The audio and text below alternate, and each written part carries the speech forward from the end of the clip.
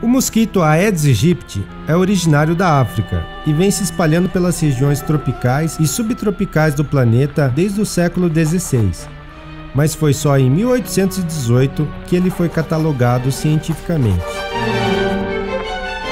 O Aedes aegypti tem menos de um centímetro. Ele pode ser preto ou marrom e sempre tem pintas brancas espalhadas por todo o corpo. A fêmea é maior que o macho.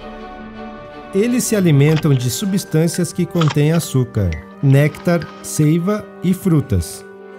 Só a fêmea precisa do sangue humano para a produção dos ovos. O sangue é a sua principal fonte de alimentação. Três dias após a ingestão de sangue, as fêmeas já começam a procurar um local para desovar. Os ovos são depositados em áreas secas próximos da água. A temperatura alta e a umidade são benéficas para o seu desenvolvimento. Após 10 minutos em contato com a água limpa e parada, os ovos transformam-se em larvas. Leva de 8 a 10 dias para que o mosquito chegue à idade adulta. A média de vida é de 1 a 2 meses. Ao contrário do pernilongo comum, o Aedes aegypti tem hábitos diurnos. Ataca ao amanhecer ou ao entardecer vive próximo às cidades ao redor dos domicílios. Voam a uma altura média de um metro e meio do chão.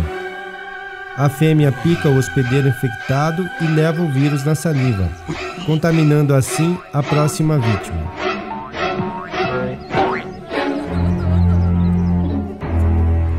Atenção! Aí vão alguns cuidados para combater o Aedes aegypti na sua casa. Encha os pratos dos vasos de plantas com areia até a borda.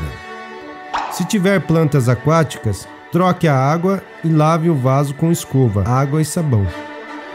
Coloque o lixo em sacos plásticos, mantenha a lixeira sempre fechada e longe do alcance de animais.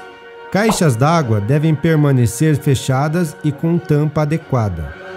Todos os objetos que acumulam água, como embalagens usadas, potes, garrafas, pneus, devem ser descartados de forma adequada. Recipientes que acumulam água devem ser sempre virados para baixo. Folhas e tudo o que possa impedir a água de correr pelas calhas também precisam ser removidos. Lave por dentro com escova e sabão os recipientes utilizados para guardar a água em casa. Não deixe a água da chuva acumulada sobre a laje. É isso aí, pessoal. Vamos manter nosso quintal limpo e organizado. Do meu tempo para o seu, esse mosquito que é de fácil adaptação ao ambiente tem causado muito estrago. Agora já temos quatro doenças conhecidas transmitidas por ele: dengue, chikungunya, zika e febre amarela.